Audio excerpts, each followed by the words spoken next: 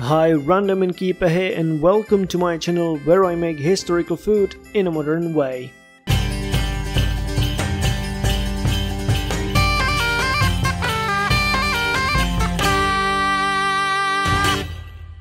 Do you remember how I made Polish-style carp cooked in jelly?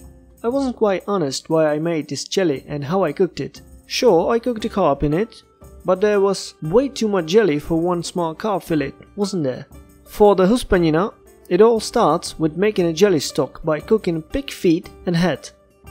Clean it from bristle and wash it properly under the water. Then cover with cold water and bring to a boil. Collect all impurities and grey foam that's forming on the surface. You will ensure nice clean broth. Add onions, bay leaf, allspice, pepper, salt and cook on low heat for about 2 hours. For the last 15 minutes, add carrot, parsley root and celeriac. Strain the broth and cut the root vegetable into cubes. Pick all the meat and skin from feet and head and roughly chop the meat.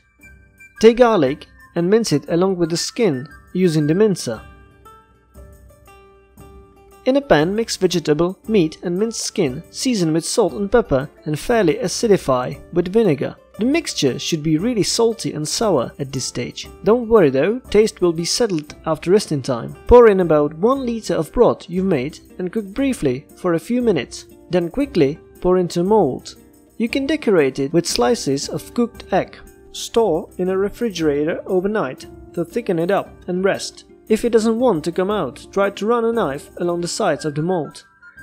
Well, the eggs couldn't make it, but the taste is what really matters. Simply slice huspenina and serve with bread and simple onion vinaigrette. I hope you enjoyed this video, leave a like or a comment, hit the subscribe if you want to, also follow me on Twitter, Facebook and Instagram. Check the description for details. Thank you for watching and see you soon.